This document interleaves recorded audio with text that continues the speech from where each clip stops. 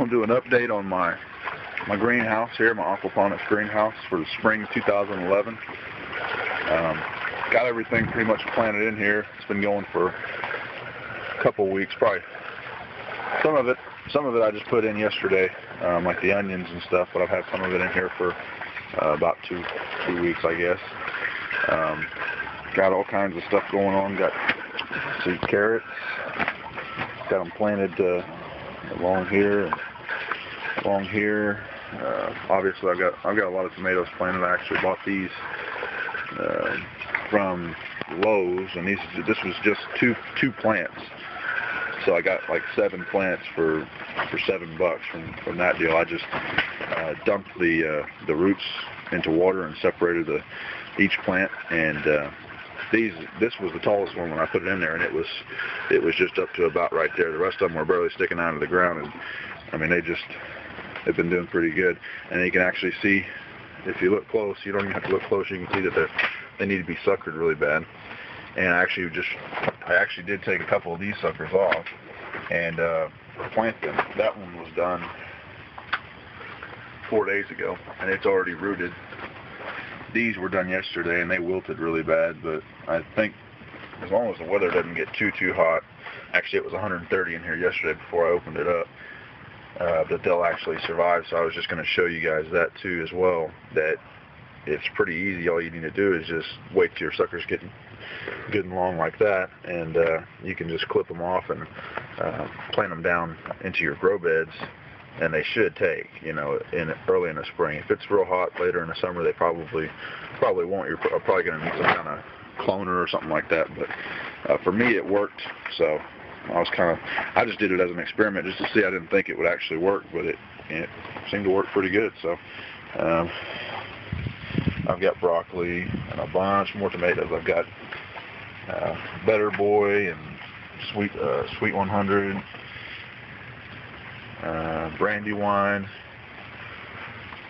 Jubilee, which is like a, I think a yellow or orange tomato, and then these are Cherokee Purple. This has actually got a fused blossom on it, the top one. It's kind of hard to see. My my camera won't really focus on it, but this one, that one may be a pretty pretty good sized tomato. But uh, yeah, I think those are those are either cucumbers or cantaloupe and there's actually two planted the same way. One of them just now kind of coming up, but uh, so yeah, either cucumber or cantaloupe. And then these are See, this tomato is called uh, Tumbling Tom, and I was thinking I'd just plant these and they'd kind of fall over the edge of the the bed there. So we'll see how that goes too. I got another uh, project with those using some uh, kind of like a strawberry tower type thing that I that I'm making. So I'll give you an update on that when I get around to it. And I got more tomatoes here. These are all going to go out in the in the organic garden. They're kind of in here just keeping warm until we get past our, you know, last frost date. And um, I got peppers and stuff too. Carnival peppers, so they should be, you know, different colors, sweet peppers or whatnot. And I guess I'll show you the fish.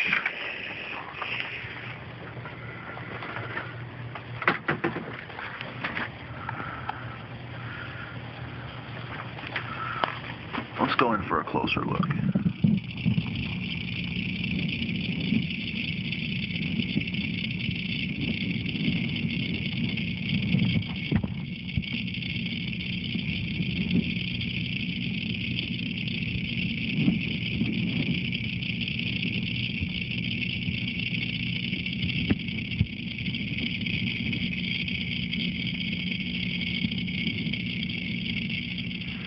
Okay, now I'm going to show you how to um, take a clone and basically plant it in your aquaponic system. It's if you've ever cloned, it's just like that, except for it's easier because you just you don't have to worry about um, rooting hormones or cloning solutions or anything like that. You your system should provide the the nutrients that the that the clone needs to survive. The only thing is the is the um, the weather. I think if if it's too hot, it, it may actually kill the plant before it can even before it can take. But the good thing about this is that you don't have to worry about watering the clone. I mean, as long as it doesn't get over you know, a certain, like maybe 120 degrees, the plants never wilt in here ever because they're constantly getting water. So that's the great thing about about this.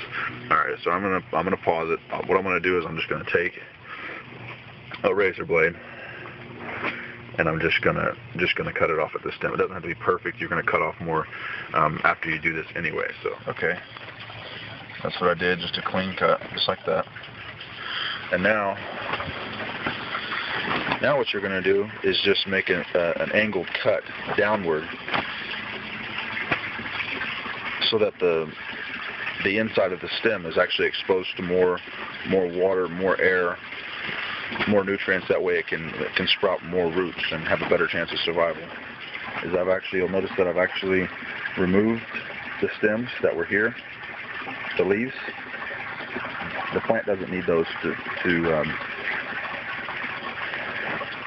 to produce roots. It really just hinders the, the process of them developing roots. So what I did is I, you can see I cut it on a, on a good angle there. That, that's fine, that'll work. I actually shaved off the outer coating of the stem on the backside as well. It doesn't have to be perfect, but just something like that where it's got a lot of area uh, exposed to the um, to the system, and uh, just leave like one one set of leaves on top. And you'll see that wilt and lay on the rocks, and it'll just perk back up and wilt a little bit. So, you know, it's it's pretty cool to watch, and it, you know, it's a work in progress. It's an experiment, but it has worked for me. So, um, I thought I'd share that with you guys, and you can do this. I mean, I, I paid seven dollars for these uh, for these plants, and then I can have unlimited amount of, of supply. As you can see, there's there's huge suckers all over this thing. In just a matter of days, all of these are long enough. Once they get to about two and a half to three inches, that's actually long enough. So long as the, the whole thing's buried down in the in the system, that's that's actually long enough to do. So um, if you guys want to save some money, that's a that's a way of doing it for sure. So I'm going to go ahead and plant this. I'll show you how to do that. That's just a matter of uh, digging down a little bit. You can see the bed's draining. It's actually full right now, so there's you can see where the where the water is at. That's a good place to plant it. If it's if it's below that, that means that you know it's going to be constantly exposed to um, the water and then air as the bed sucks it down. I'm actually going to push this a little further down.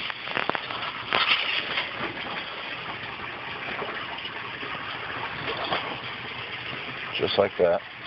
And then just cover it back up.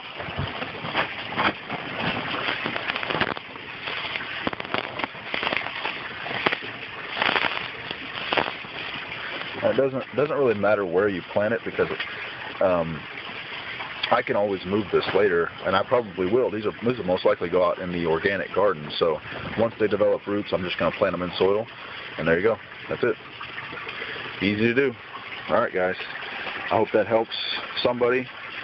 Uh, if you have any questions or comments, just you know, leave them below the video, or shoot me an email, whatever you want to do. Um, willing to help anybody that, has questions that's just starting out or um, anything like that. So, all right, guys. Okay, I'm also going to show you how to sucker.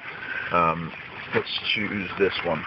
All right, you can see that that's that's a flower um, cluster, and it's kind of hard to see which one is the main stem. They both look pretty much the same, but it's actually attached to this this this plant, and you can see it right there. So you're going to want to take everything, all the suckers below the last flower cluster, which should be this one. And this is a little big. I'd normally take that with a razor blade if I was had a had a free hand. But then you just take everything below that. So you go down here, remove that.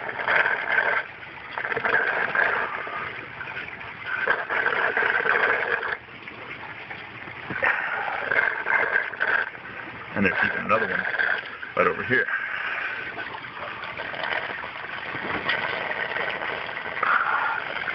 Okay, so that's what I took off of that one plant.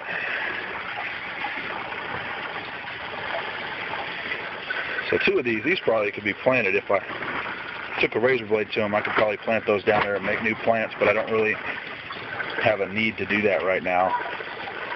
I've got plenty of tomato plants, so Um, but yeah, that's that's how you sucker a tomato plant. All right, guys.